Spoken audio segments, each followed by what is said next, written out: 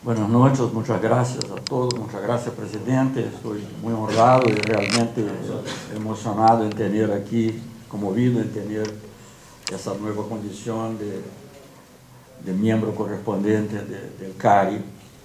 Y quiero agradecer también a señora Antonove por su, medio, también al presidente Duhalde, que ha sido un campeón de la integración sudamericana, uh, no solamente como presidente del Comité de Representantes del Mercosur, pero también más allá, ayudando mucho a la creación de lo que entonces se llamábamos, llamábamos nosotros la CASA, Comunidad Sudamericana de Naciones, y que vino a ser la UNASUR.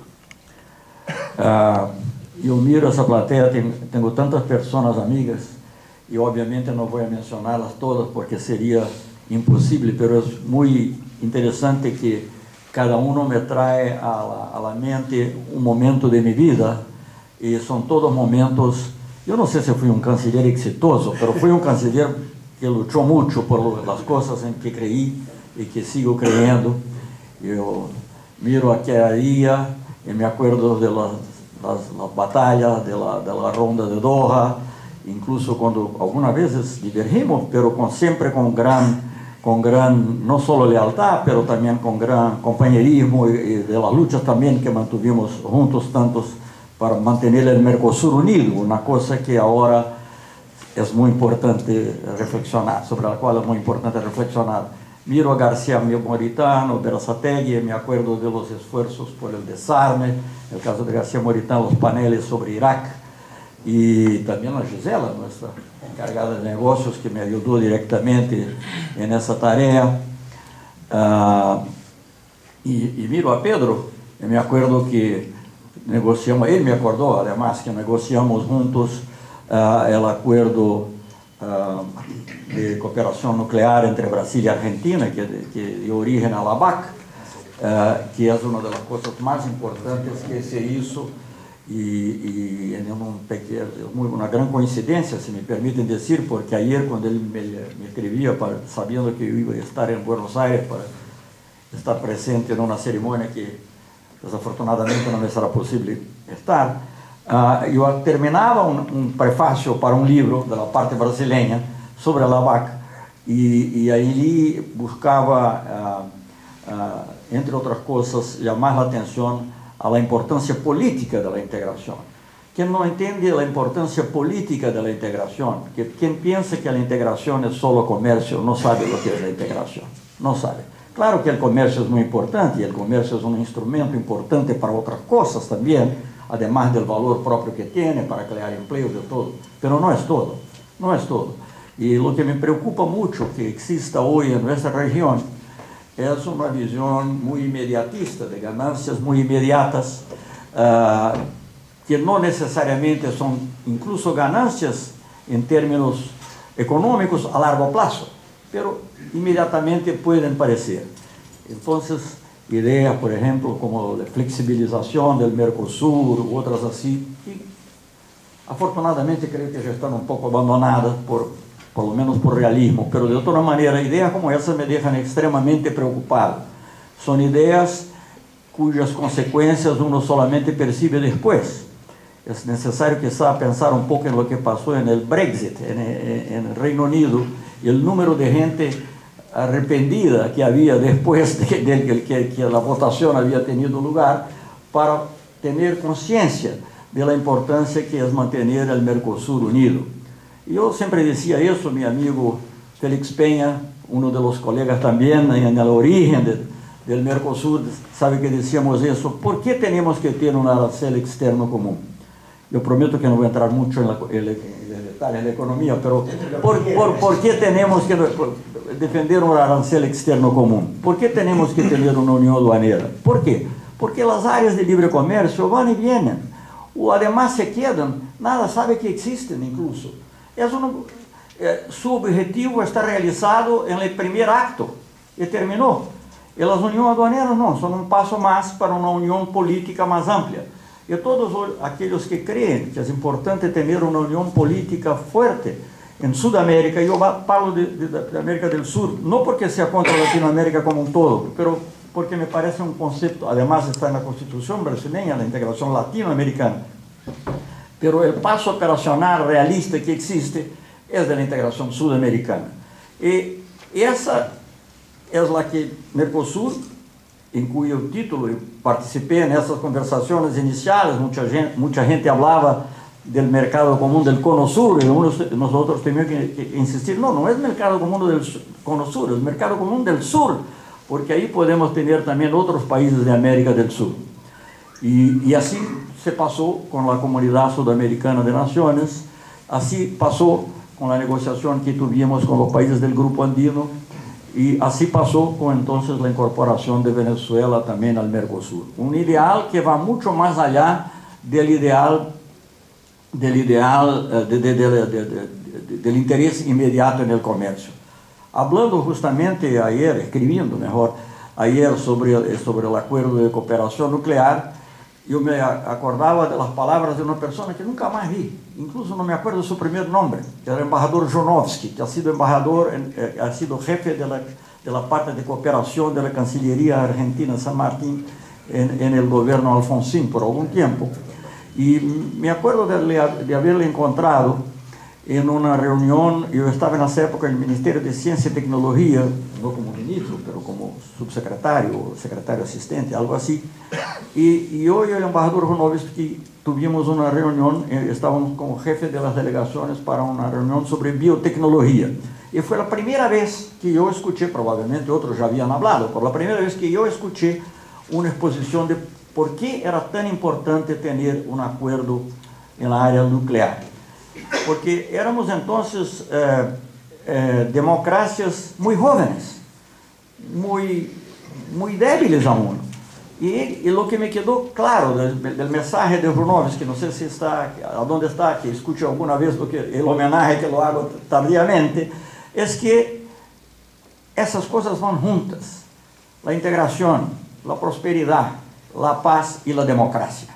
En la época era muy evidente, porque habíamos salido de dictaduras militares, la, era muy evidente que eliminar puntos de rivalidad que pudieran justificar eventual, intenciones de regresar a, un, a, a militares era, era obvio.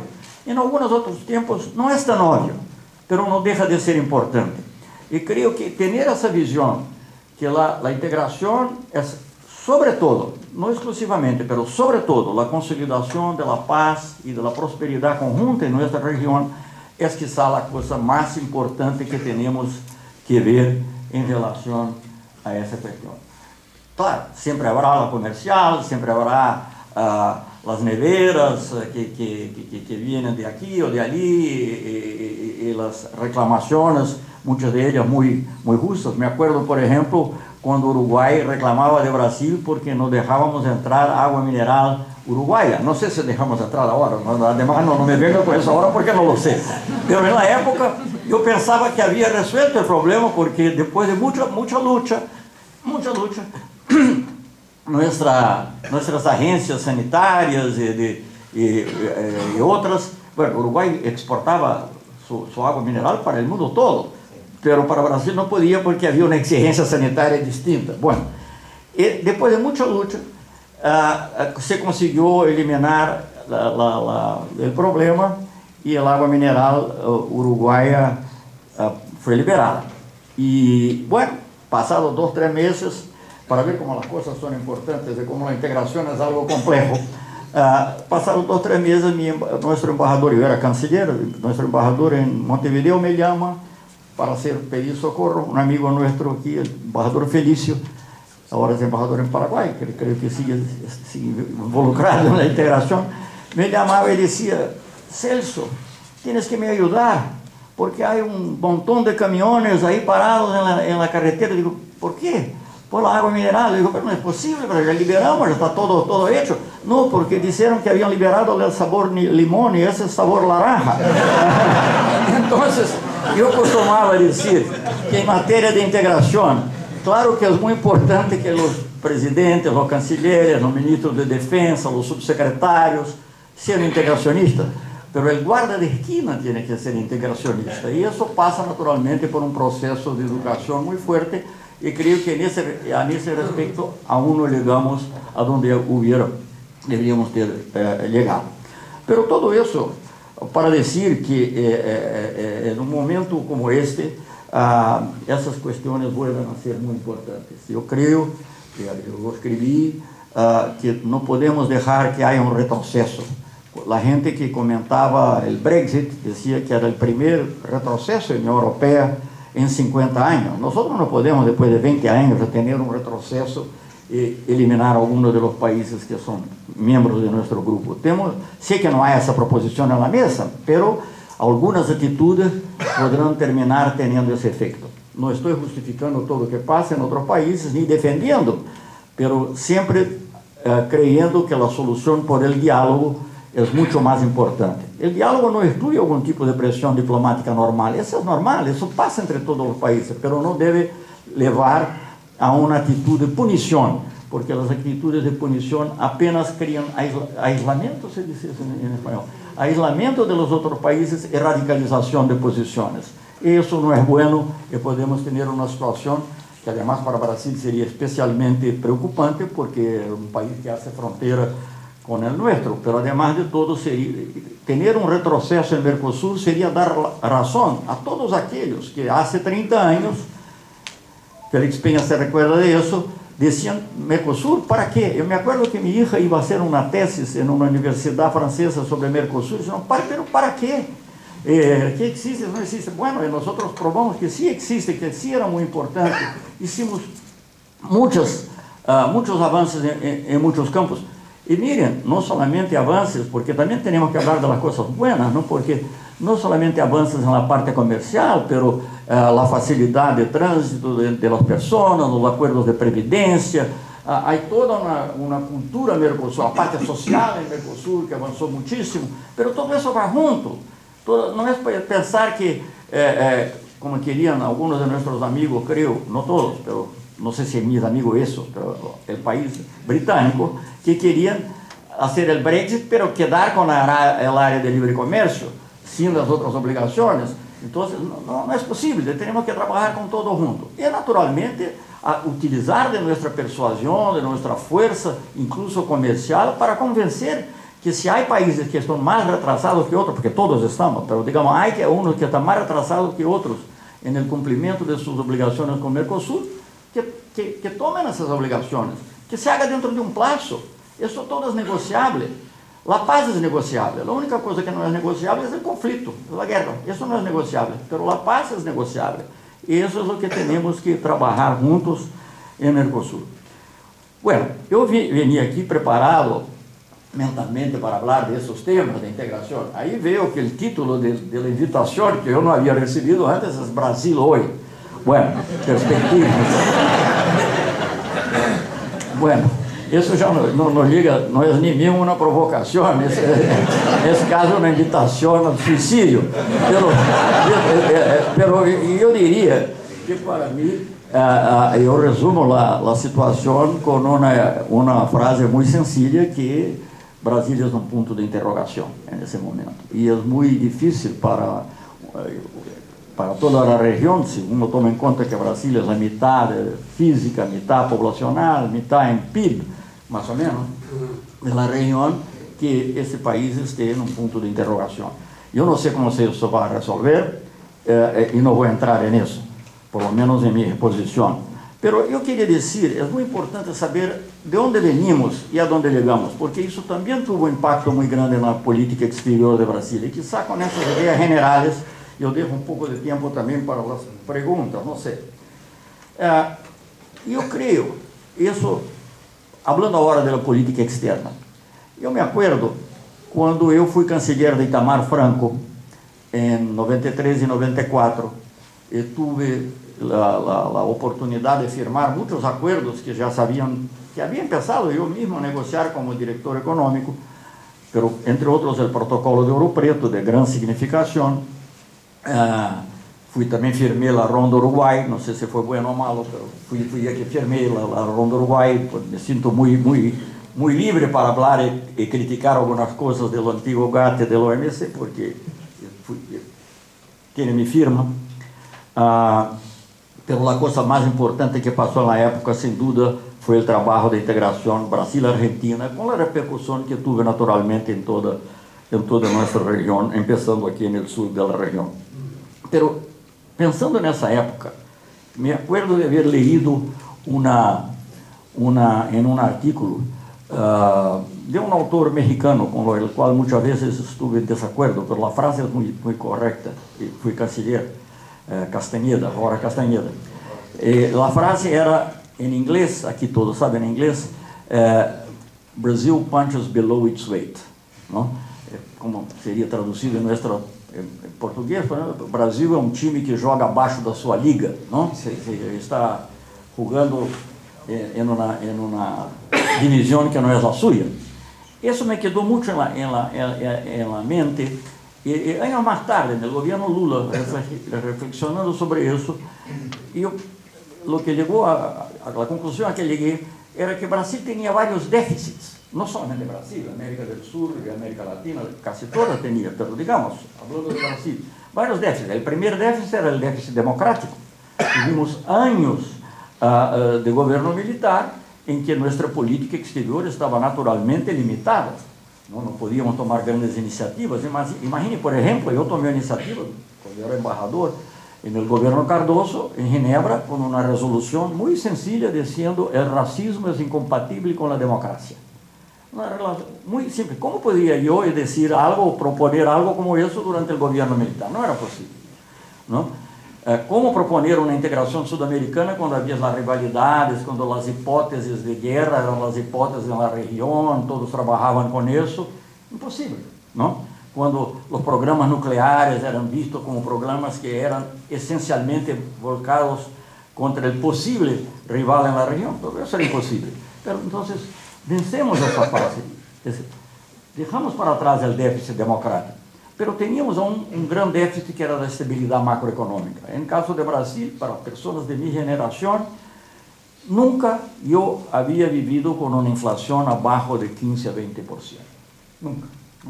Era uma coisa impossível. Sabe quando era muito jovem, houve anos que foi 10, 12%, ainda na época de Vargas, Vargas já no governo democrático, também não sou tão viejo assim, mas de toda maneira.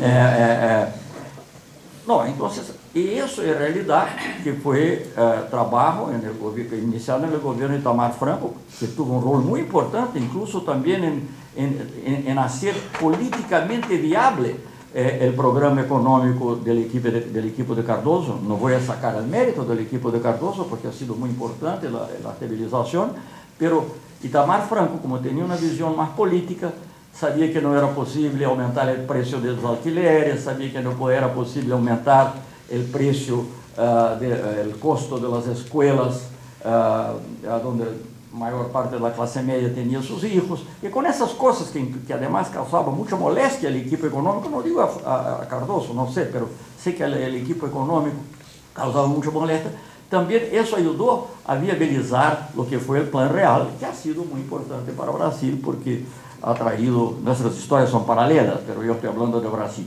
ha traído, ha traído macroeconômica. E quando vem Lula, quando se anuncia Lula, temos o terceiro grande déficit a ser enfrentado, que é o déficit da desigualdade, que quizá a pior e mais grave. ¿Se dice chaga? Sim, herida. Sim, a mais grande chaga de nossa sociedade, que é a desigualdade. Porque, como dizia Lula, presidente Lula, todo o que passava, Brasil crescia, a desigualdade aumentava. Ah, porque quando cresce, Brasil não crescia, a desigualdade também aumentava. Entonces, creo que tener la, la, la, la, de enfrentar ese problema de la desigualdad con programas como Bolsa Familia, Hambre Cero, etcétera, uh, uh, uh, fue quizá el paso más importante que Brasil dio y digamos el paso que de alguna manera para gente de minha geração, por lo menos, que he vivido antes de 64, completava a ideia de uma democracia que não fosse solamente uma democracia política, que é importante, quem viveu os tempos de ditadura sabe que os formalismos democráticos são importantes, pero também uma democracia social, uma, uma verdadeira inclusão de milhões e milhões de pessoas en la, en la, en la sociedad, en la como además presidente Dualde menciona en un artículo que escribió muy, muy interesante que ustedes me han enviado. Bueno, entonces esa, esa, la superación de esas tres, de esos tres déficits uh, fue lo que en gran medida hizo posible que Brasil pensara más en una política exterior más activa, y como yo he dicho en la ocasión, no sé si en español eso dice, activa y altiva. ¿no? Altiva porque no iba a se someter a las agendas de fuera, quería hacer su propia agenda, y activa porque lo iba a hacer de una manera uh, también, si necesario, protagónica, no, no, no, no el protagonismo por el protagonismo, pero es preciso, es necesario decir una cosa, cosas como la integración sudamericana, ou a aproximação com a África, ou com os países árabes, em todo o qual buscamos sempre involucrar, sempre que possível, toda a América do Sul, para não ser uma coisa puramente brasileira. Ah, em, todos esses, em todos esses casos, necessitam do que internamente se diz uma, uma ação afirmativa. Isso não passa naturalmente. Não? Naturalmente, o que há, é mais desigualdade e mais dependência. Se uno não hace nada na área social, não é necessário fazer políticas de desigualdade. É suficiente não fazer nada, que a desigualdade vai aumentar. Isso é natural, desigualdade racial, desigualdade de gênero, desigualdade de classes, todas as desigualdades. E a mesma coisa aparece na política exterior.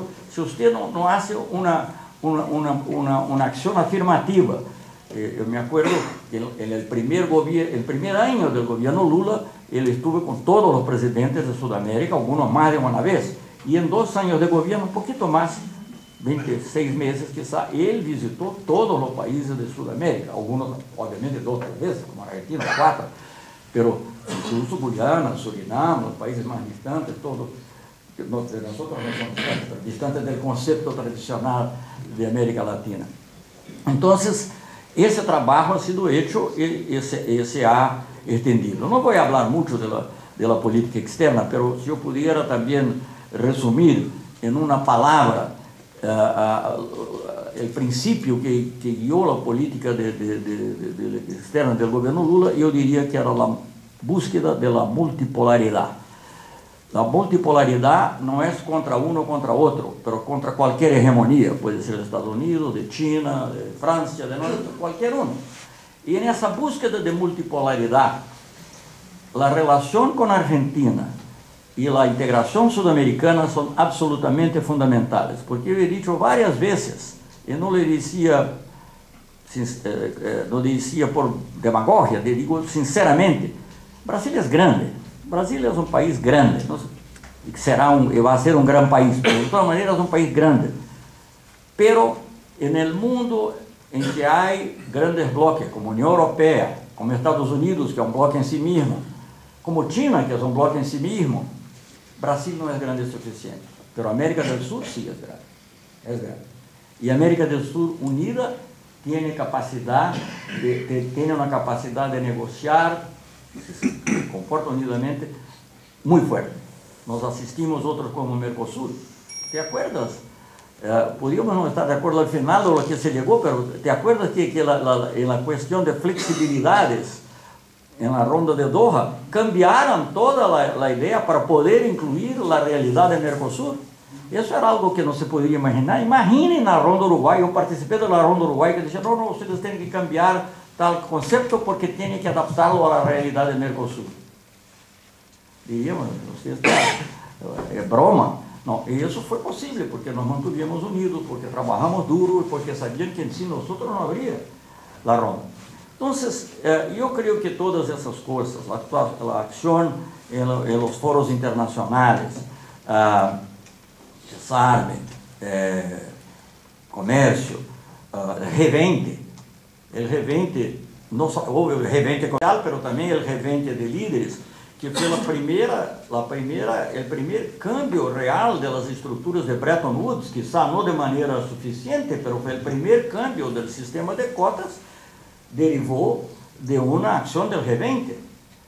Ah, bueno, nós temos muitas outras iniciativas, e, incluso, por exemplo, com relação ao BRICS, me acordo já como ministro de Defesa, creio que não é uma inconfidência, que intercambiou uma palavra com a presidenta Cristina Kirchner sobre a possibilidade de aproximar também a Argentina los BRICS de alguma maneira. Creio que é uma coisa que deve pensar-se. Hoje, como eh, um, um escritor brasileiro que dizia: livre pensar é solo pensar.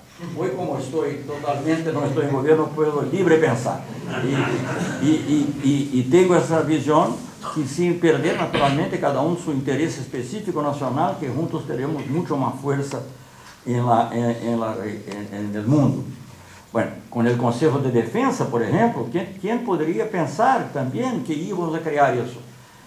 Uh, uh, aproximando-nos, quizá, de uma, de uma visão uh, de dissuasão comum em defesa de nossos recursos naturais, por, por? E também com uma visão, quizás, importante, incluso para política industrial porque um dos problemas que temos para, o desenvolvimento tecnológico é a falta de demanda uh, uh, por produtos de alta tecnologia que, possamos, que podamos fazer nós.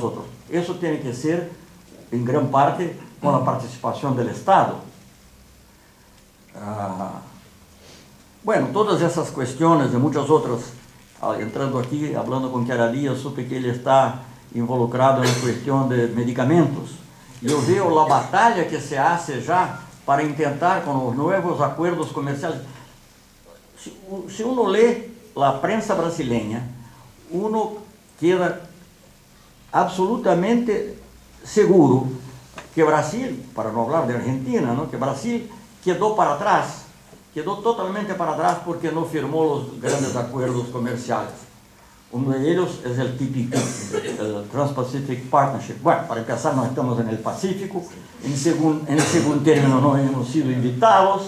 Uh, e em terceiro término, se formos invitados e formos ler aí o fine print, íamos a ver que há não somente problemas muito graves na negociação tipicamente comercial, pero, por exemplo, limitações muito grandes à, à, à produção, por exemplo, de medicamentos genéricos, por razón de las patentes. Hay lo que llaman ahí de cláusulas TRIPS Plus.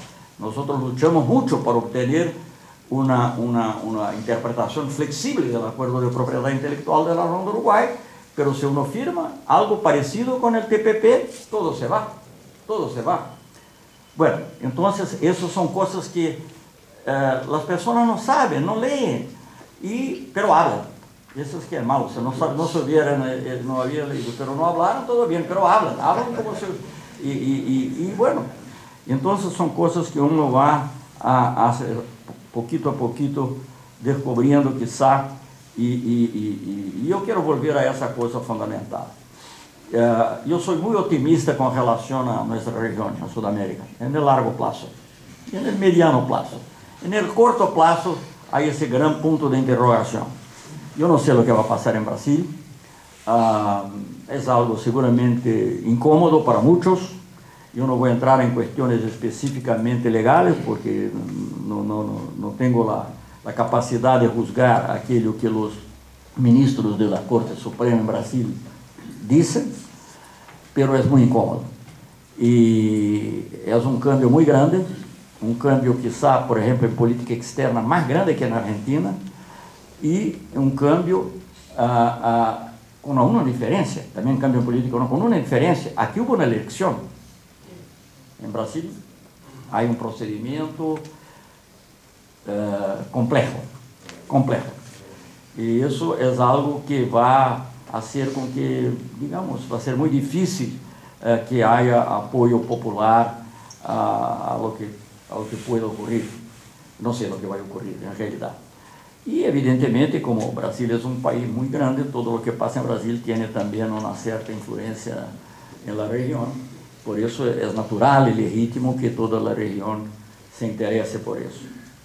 Pero, volvendo a, a, a, a, a lo que dizia, a, se nós nos quedamos a, sempre firmes nesses objetivos de paz, de integração, de prosperidade, a democracia também vai sobreviver e vai sobreviver bem. E é isso que está o reto mais importante que temos en el momento una democracia real con todos los sentidos políticos importantes que tiene, jurídico, pero también con un sentido social, porque creo que ese es un aspecto muy importante. Cuando digo que es un punto de interrogación, es también un punto de interrogación sobre la identidad nacional. ¿Qué es el Brasil que queremos? Salió un libro ahora con el nombre Brasil que queremos.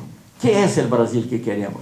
No es solamente un país que sea la sexta o séptima potencia económica mundial, uh, que pueda un día volver a ser buena en el fútbol, uh, que, que, que, tenga uh, algún liderazgo en negociaciones comerciales, si es que puede tener. Queremos una sociedad más justa. Queremos una sociedad en que las mujeres, los negros, los indígenas, pero en el caso de los negros es muy fuerte la, la, la, la, ausencia de negros en posiciones importantes, todo eso vuelva. Vuelva a ocurrir de manera más fuerte, porque, vuelvo a decir, en esas cosas es solamente, es, tiene que ser una acción afirmativa en todos los sentidos. No es suficiente cuando dice, ah, no había, no había hecho atención, que no hay aquí en el equipo que yo escogí ninguna mujer ni ningún negro. Pero el hecho grave es que no haya llamado la atención. Esa es la cuestión. E creio que juntos vamos a superar todas essas coisas de uma maneira muito melhor que aisladamente. E por isso é uma grande alegria estar aqui falando com vocês. Espero que seja agora que sou membro aqui corresponsável, correspondente, não sei, que, que não seja somente por correspondência, que venha aqui algumas vezes para falar, porque é realmente muito, muito estimulante. Muchas gracias.